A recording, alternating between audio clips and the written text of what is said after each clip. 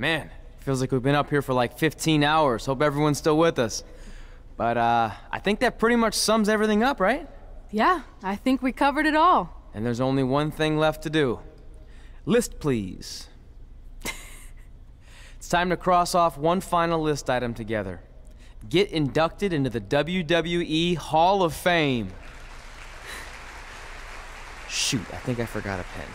Seriously? I've got one you can use.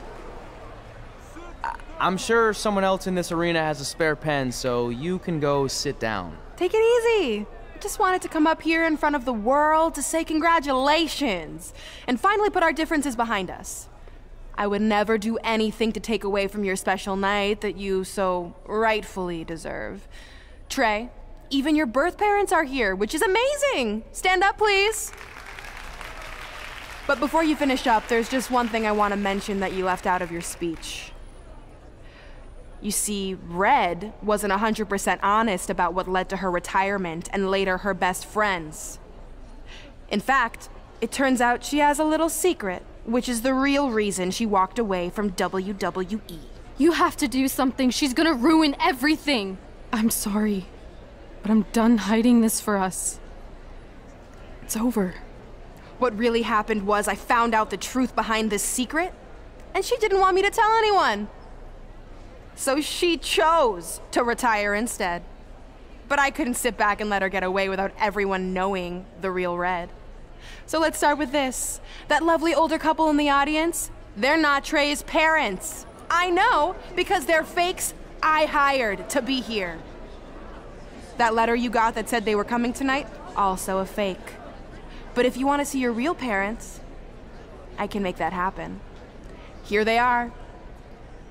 Yeah, that pretty much says it all. And look at the date there. They were already long gone by the time we were in high school.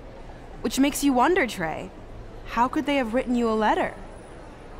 Maybe someone else wrote it to try to manipulate you into doing whatever they wanted.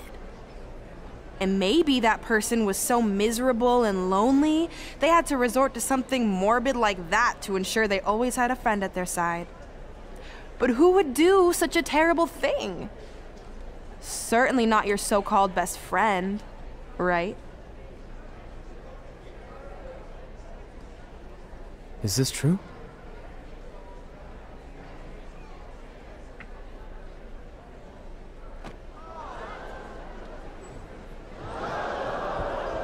We're not finished here.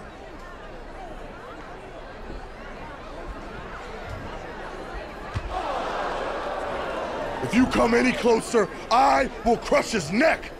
And the same goes for anyone else if you try to stop us. I will end him.